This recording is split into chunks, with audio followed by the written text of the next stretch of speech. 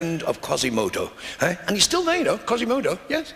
Oh, I'm so, oh, I'm so ugly.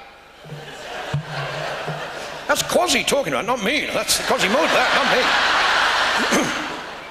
He's still there. The other day, Quasimodo, he was, he was roaming around the bottom of the, Notre Dame. And this uh, American comes up to him, typical American, a big, big hat, like cowboy hat and five cameras. And he says, uh, this man comes over and said, uh, Mr. Modo. Pardon? He said, uh, have I the honor of addressing Mr. Quasimodo?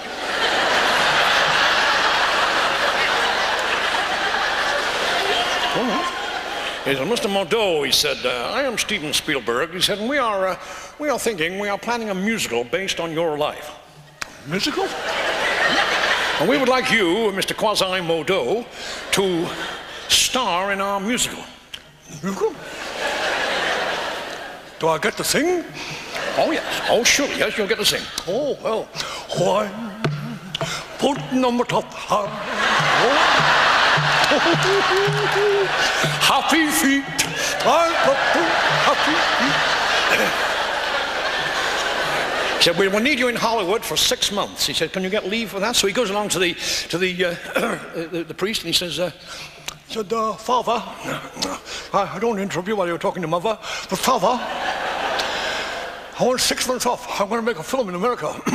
yeah. What do you mean, Cosy? Yeah, yeah, I'm going to be in films, singing, you know. oh, zippity doo da, zippity He said, well, if you can get someone to stand in for you and ring the bells.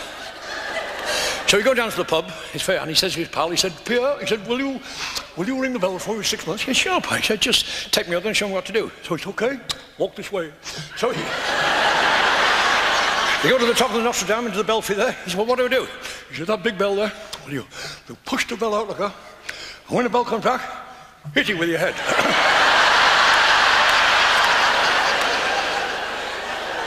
you sure? Yeah. So he pushed the bell out. Right, now it's coming. I'll hit your head. Dong! Oh! Fellow went flying down the stairs, horn on the belfry, ended up in a heap on all bruises, contusions, blood all over the place. The ambulance comes, da, da, da, da, da, da. The gendarmes come, he said, Quasimodo? Quasimodo? Singer. Oh, for while you work. You've got to come down with us to the police station. Oh, yeah?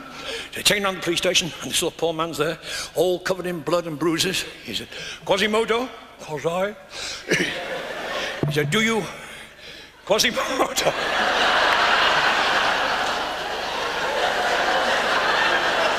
he said, Quasimodo, do you recognize this man?